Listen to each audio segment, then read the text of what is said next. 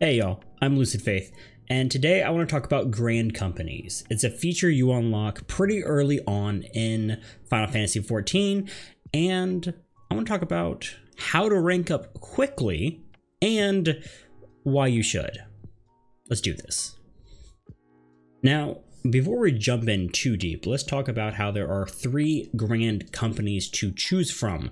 You have the Order of the Twin Adder, the Immortal Flames, and the Maelstrom. Now, the differences between these is really just cosmetic and affects PvP, and that's it. Also, you can change your grand company later on. First time's free, after that, there's a small fee, and when you change, you start at the lowest rank of the whatever you change to. But if you go back, you retain your rank. So it's possible to max out all three grand companies if you really want to. Quick tidbit to actually rank up, go to your personnel officer and select apply for promotion, and then it'll pop up a box with the requirements on what you actually need to do. Now that you've joined a grand company, how do you rank up? Well, there's a couple mechanics. First off are company seals. You get these from doing a variety of activities, and you eventually get enough of them to turn them in in order to rank up. Now, in addition to that, you also have your very own Grand Company Hunting Log, which different ranks will have you complete one of the three portions. And lastly, there are a couple side quests that are required to do the rank ups. Now, links to those quests will be down in the description below, but the game does tell you when you need to do these and who to talk to and everything to get those quests done. For the Grand Company seals, you get these in a variety of ways. Now, let's walk through them. First off, we have fates. Just completing any fate, any level, will get you some Grand company seals. Honestly, it's a great way to do it for XP and seals. Next up is daily roulettes. Now there are two roulettes that you can actually do to get seals. These are the leveling roulettes and the guild heist roulette. Unfortunately, those are the only two and you can only do them once a day, but it's something. Next up are supply and provision missions. Now, these are one a day missions you can do for your grand company for gathering and crafting requests. So they're going to ask you to go gather or craft a certain number of items. You could be gathering ore, catching fish, making different armors, different stuff like that. So if you go out, do that.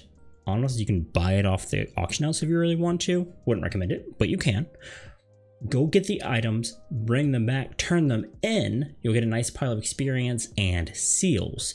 What's cool is if you give them high quality versions of what they're asking, all the rewards double. So that's going to be double experience and double seals.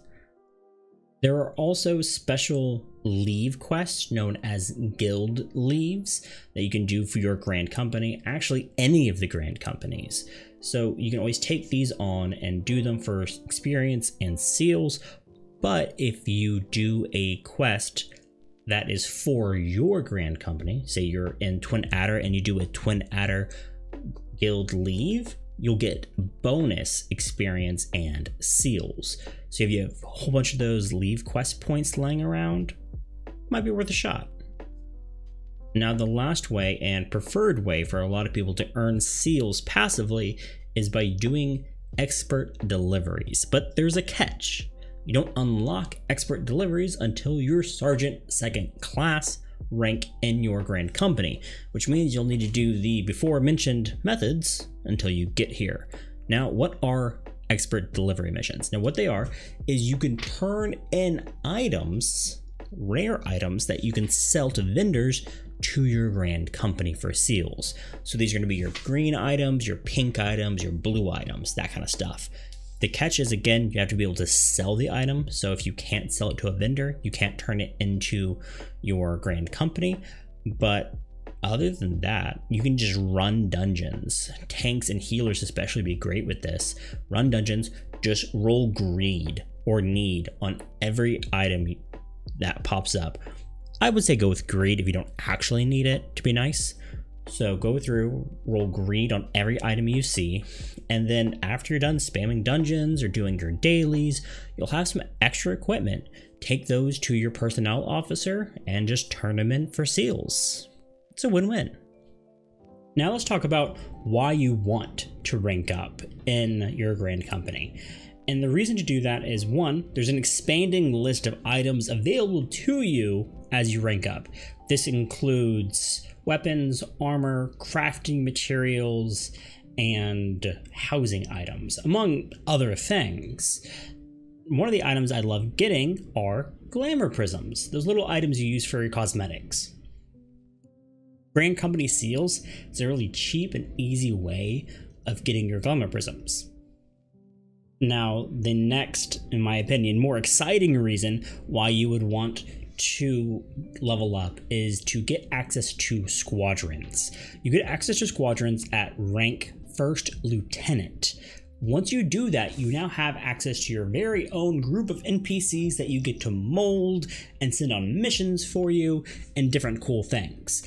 Honestly, the system's pretty deep and I haven't investigated it very much, but it looks really cool. I'm kind of tempted to do a video over squadrons when I get to Stormblood because in Stormblood, you apparently get the access to go on dungeons with your people in your squadron.